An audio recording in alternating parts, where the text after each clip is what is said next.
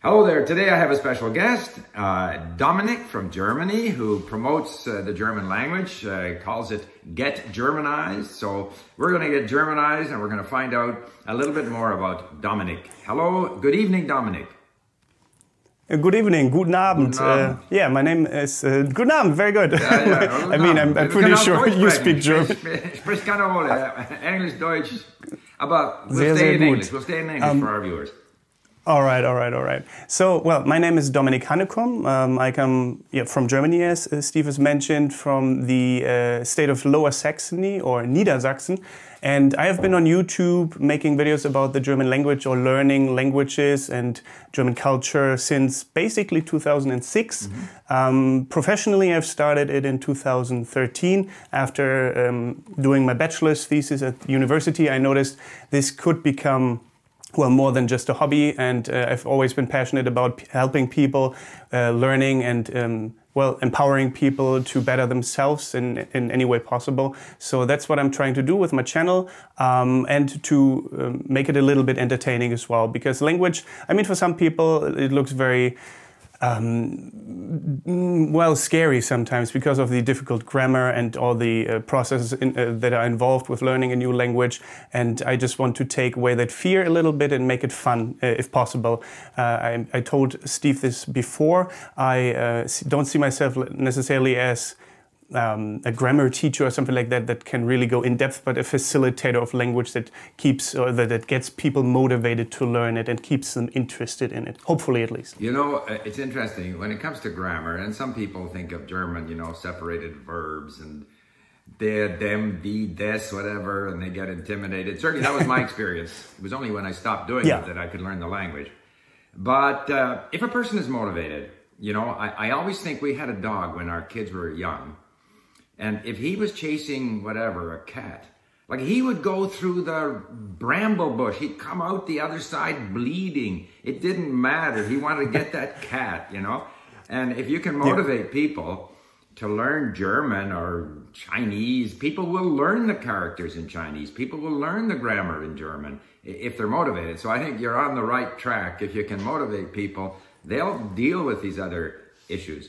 Now, one other thing. So we're talking motivation. So I know a lot of people are motivated by German rock music, music, Rammstein and so forth. I'm not at all motivated Oh, yes. that way. Zero. Zero. I wouldn't know Rammstein from uh, Rumpelstiltskin. But when you say Lower Saxony, then I think of, I don't know where that is, except that, is that near Leipzig? Is that near Bach country? Is that, What- has it anything to do, is that sort of north of, of uh, Bohemia, of the Czech Republic? Uh, where, uh, tell us where Lower Saxony is. Lower Saxony is in the north of Germany. Uh, Leipzig is about five hours uh, from where I live. Actually, I'm going there this Friday because I was about to go to the Leipzig Book Fair, th- which was cancelled Oh, yeah. because of the Corona scare sure, at the yeah. moment. But I'm still just going to go there and explore the city. But yeah, uh, in the north of Germany, um, the capital city here is Hanover. Okay, Actually, you might have so heard of lower, Hanover. like I always look at a map, you know, Germany, north, south. Uh, north is upper, and uh, and uh, but in fact, It is no, confusing it's, the- it's the reverse. So I guess it's Lower Saxony is north of Saxony, uh, you know, Yes. Leipzig and Dresden and so forth. Okay. Uh, now, how, what, uh, so, I mean, I'm an old uh, fuddy-duddy, so I'm more into older things. Uh, Don't say that. older things, uh, and to me, I I can tell you what what I found attractive uh, with German and uh, the whole German experience, including my travels there. But let me ask you, what are the the kinds of things either that have motivated people to learn German, or that you use to motivate people to learn German? Well, um, I have asked this question actually um, a couple of times, uh, and my viewers have said so far that uh, many of them have been influenced, as you uh, said, uh, by Rammstein, by music, um, because Rammstein is internationally uh, famous and popular, and so I understand. And it's kind of funny because the first thing some people will write is like "Du, du hast," you have like the song by Rammstein, or some other lyrics. And I believe the band, the German band Tokyo Hotel, is internationally famous as well, and they were for a time at least uh, getting people to learn German, which I think is fantastic. Like uh, to me, it doesn't really matter what motivates someone to learn the language as long as they have something that interests them because I, I strongly believe that if you don't learn about something in the language that really interests you, then it is very much harder to uh, keep yourself Absolutely. motivated and, and stay learning. Um, and other than that, definitely German TV shows. Mm-hmm. Uh, people always tell me how they like um, what was it, Dark, this new Netflix mystery Oh. show, and people just started learning or getting interested in the German culture because of shows like this. Can we stop for a second? uh, Very interesting. Netflix. Oh, yeah, sure. Netflix. Okay. Netflix is a major source of language learning content. Um, Oh, for sure. I, I used it for Turkish for a while. Uh, Oh. I even found an Arabic uh, series there, but it was in Egyptian Arabic and I couldn't understand a word. But so there are a lot of German series on Netflix. And I think there's even a thing called Learning Languages with Netflix where you can go through frame by frame and, and look at the subtitles, say, in German. And Oh, really? and I didn't know that. That's you can amazing. import. We we can bring uh, Netflix movies into LingQ, and I did that. And I brought. You can also import the dialogue as a lesson. So Netflix Oh, cool. is part of this whole world of content that's out there.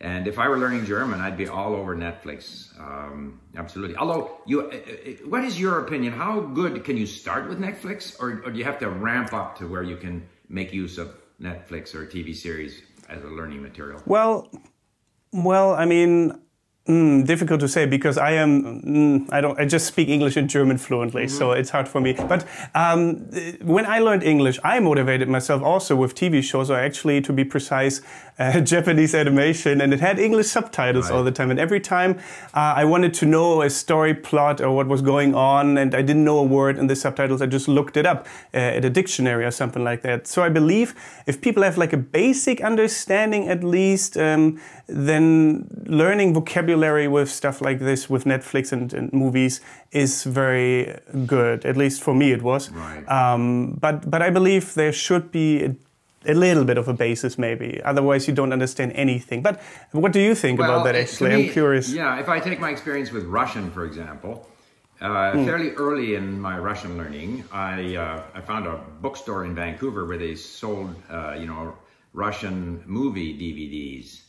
So I bought some of these, but it was more stimulus because, like, you know, here, wow, look at me, I'm watching a Russian, and this is especially the old Soviet movies that were better than the more recent Russian movies, and you know, something from the 19th century, and, and I, I found this stuff very motivating, but I couldn't use it hmm. as learning material because I didn't understand, I couldn't read the Russian script.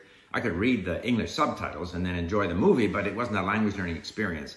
So I, I do believe you have to get to a, a sort of an intermediate level. However, you know, depends. I mean, if, if you're going, you know, English to French or English to German, there there's 30, 40% of the words there that you can recognize. So it may Yeah. be easier. But with Russian, I found that I, I had to ramp up with other learning activities and then I could start enjoying movies. But it certainly is motivating. There's no question. It's, mo- it's the romance. It's the romance of Germany. So let's talk a bit about the romance of Germany. So, okay, we got rock Sure. music, we got Netflix. How about what are some of the other reasons why people learn German? Um, yeah, uh, talking about romance. Well, for romance, for love, Right. um, many people these days get to know their um, their special someone through the internet, and it's becoming more and more normal. I think it is pretty normal by now, and um, that way. Uh, this well, getting to know people from other countries has become very easy uh, because of the internet, and and so many people have found someone and want to learn their language, as a, for example Germany uh, or German uh, in this case, and uh, they come here, they live here, and learn the language basically, and the motivation is their partner, uh, which makes a lot of sense Yes. because that is one of the greatest motivations I believe that you can have Now, can to it, learn a language for someone way? you love. Can it go the other way? I want to learn this language, so I'll go and find a, an emotional, romantic partner. Then when I lose Oh, interest yeah, in that language, I'll go find another partner for the new language that I'm learning. I don't know. Actually, now that you are saying that, I w- I won't name any names, but I think you might know this person as well. I have uh, met um, another polyglot Right. uh, at uh, at a language um, event in Berlin last year, and he told me actually that um, he does that sometimes. He, he keeps around people uh, that speak certain languages, basically flatmates and uh, I guess right. maybe girlfriends as well. I'm not 100% sure, but that was super interesting mm -hmm. to me. Like I was always wondering how how do polyglots that speak a lot of languages keep the language fresh? And I guess that is one of the ways you can do it. So yeah, I, yeah. I, I mean, I think a because I I happen to be happily married that um, the, the option of going out and finding girlfriends in each of my languages is not, is not an option. And uh, with 20 languages, you can't constantly be looking for people who speak those languages. So it ends up being yeah. more a matter of, of refreshing them occasionally through lots of listening and reading and those kinds of things. Uh, I also wanted to say that, uh, you know, Germany, uh, a little bit about my experience with German. Mm. Germany is a wonderful place to visit. And you sometimes hear people say, well, I went to Germany and I spoke in German and they answered in English and it's very discouraging and stuff. And that might be that true happens, yeah. in a department store in Berlin or in Hamburg or in, uh, you know, Munich.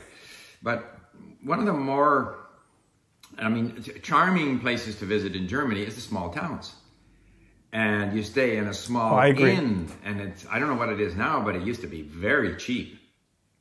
The meals were cheap, um, very cozy. Yeah, I, I, guess depends on where, but right, yeah, yeah, cheaper, definitely. And you stay in these towns that are just like, like they're so beautiful, like they're postcard perfect little towns. And I can remember I stayed many times. I had business dealings not too far from Dinkelsbühl.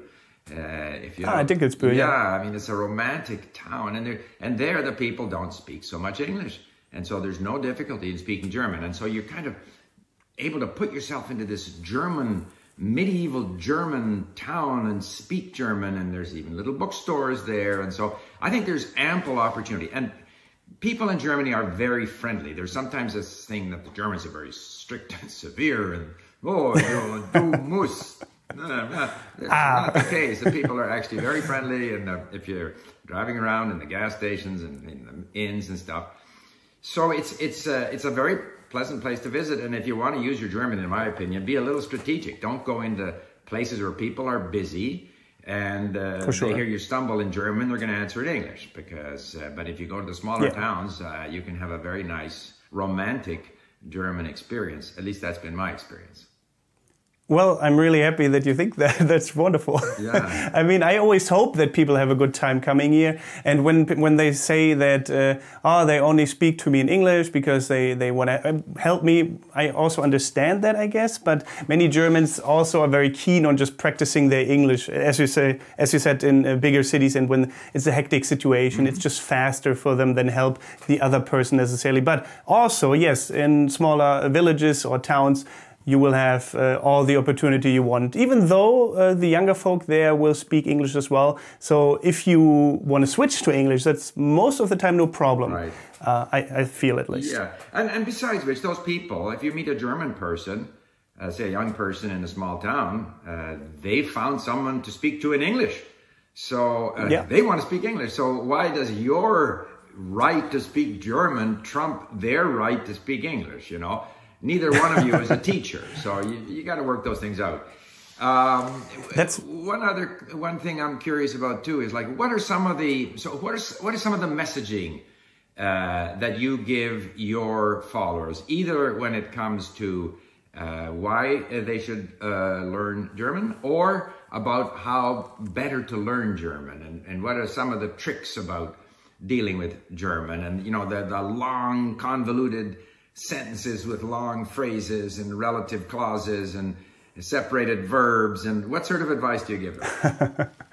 well, first of all, I guess um, why they should learn German or why they should learn any second language is just because it makes you a lot more empathetic. How do you yeah, is that how you say it in English? Yeah, empathetic um, towards other cultures, mm and it gives you so many opportunities. If you learn another language, you I mean that's why I learned English because I didn't just want to be confined to my own country, to the possibilities within my own country. I wouldn't be doing what I'm doing right now if I didn't learn a second language. And I traveled and felt comfortable in other countries because I knew English.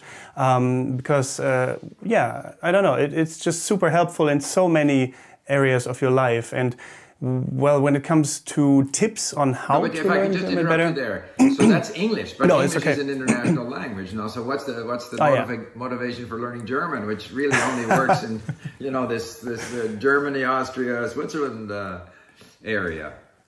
Well, um, there's many job opportunities Mm-hmm. for people who want to become, for example, engineers, as stereotypical as that is, it is true, um, or just in other uh, areas of, of, uh, of jobs, Mm-hmm. you can, of course, uh, use German as well here.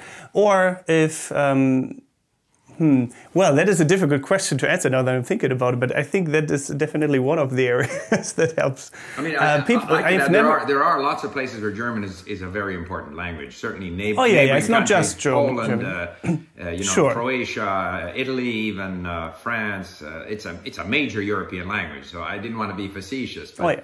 yeah. No, it's fine.